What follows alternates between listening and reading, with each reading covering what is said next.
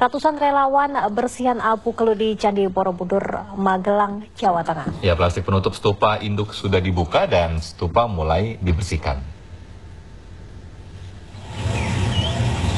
Petugas Balai Konservasi Candi Borobudur dan PT Taman Wisata Candi Borobudur membersihkan candi usai beberapa hari lalu stupa induk ditutupi plastik atau mulsa.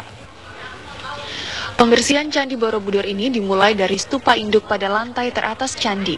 Ratusan relawan dari TNI, masyarakat, dan pihak terkait lainnya membuka plastik atau mulsa yang menutup stupa. Dengan menggunakan peralatan khusus, relawan membersihkan candi dengan cara manual agar tidak merusak candi.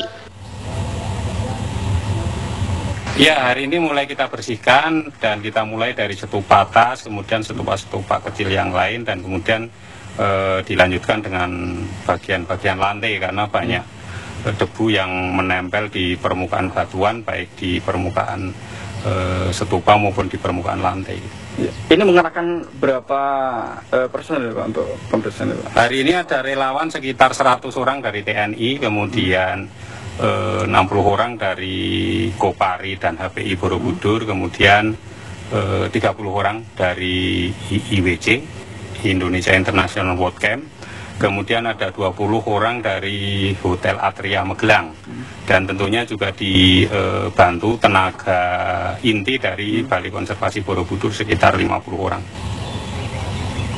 Balai Konservasi Candi Borobudur menargetkan pembersihan selesai dalam waktu 10 hari dan dalam kurun waktu itu Candi Borobudur tetap tertutup untuk umum.